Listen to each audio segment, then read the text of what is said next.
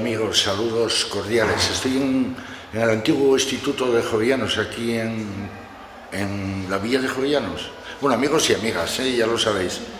Entonces Podemos aquí presenta el programa de cultura y vienen bastantes oradores y venimos a grabar el evento. Hoy, hoy por la noche ya tendréis un avance bastante amplio de todo lo que aquí ocurra. Eh, veréis a personas conocidas aquí de Podemos, tenemos a Silvia Cosío y algún que otro más conocido que intentaremos hablar con ellos aparte solamente. Gracias amigos, venga hoy de noche en el Instituto Jovellanos del Camaronín.com con vosotros. Gracias, gracias, muchas gracias. Estoy en el antiguo Instituto Jovellanos, estoy con Silvia Cosío.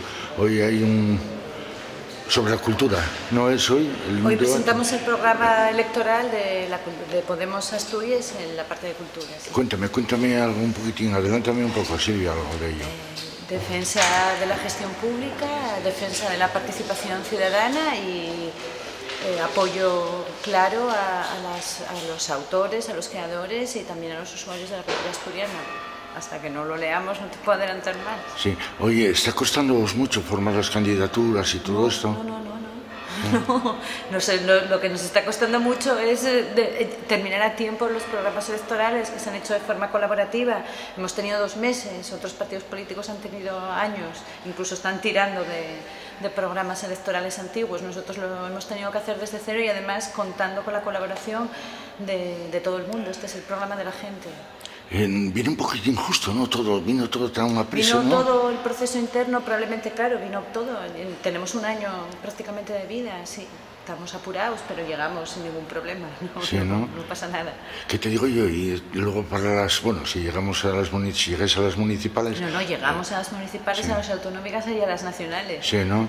Que la gente participa, participan Sí, otras... sí, está participando sí, ¿no? activamente tanto en la elaboración del programa como ahora de voluntariado para desde pues desde interventores y apoderados, pasando por gente para ayudarnos a los actos, llevar en coche. Es- es- Estamos teniendo una colaboración ciudadana porque la- las y los ciudadanos asturianos se están apuntando al cambio de Podemos. ¿Cómo va la cosa con hombres y mujeres? Eh, ¿Hay más de uno que No, de no, no, otro? no, ¿Cómo lo lleváis? Paridad total. O sea, la paridad es de obligado cumplimiento y además es sencillo de cumplir porque hay tantas mujeres como, no, como hombres en Podemos dispuestos a ayudar en este cambio. Sí, porque mm, si es una paridad, pero si no lo hay, tenemos, hay que ir, ¿no? A que no hay. Pero pero las listas, si de, me cuentas que hay, las listas de Podemos Asturias son, son cremalleras, son paritarias, no hay ningún tipo de problema con eso. Hay tantos hombres como mujeres y además es que hay mujeres dispuestas a dar la cara.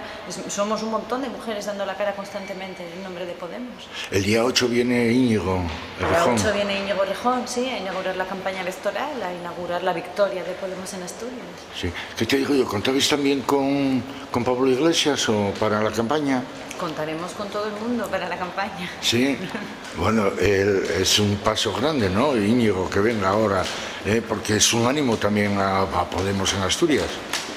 Sí, pero es que es normal que vengan a Asturias y a todas partes. Esto es un proyecto común para, para todo el mundo de Podemos y Asturias, igual que Aragón, pues son sitios donde tenemos posibilidades reales de ganar y gobernar. Es normal que vengan aquí a, a- a vernos. Claro. Eh, Silvia, y por último, ¿vais a ganar? Sí, Fijo, ¿no? seguro. ¿Te quedaría algo por decirme, Silvia? Eh, que nos que seguimos esperando que cuanto más gente se apunte a, a echarnos una mano más mejor y más rápido será el cambio que se necesita en Asturias Gracias. no a ti Gracias. Gracias.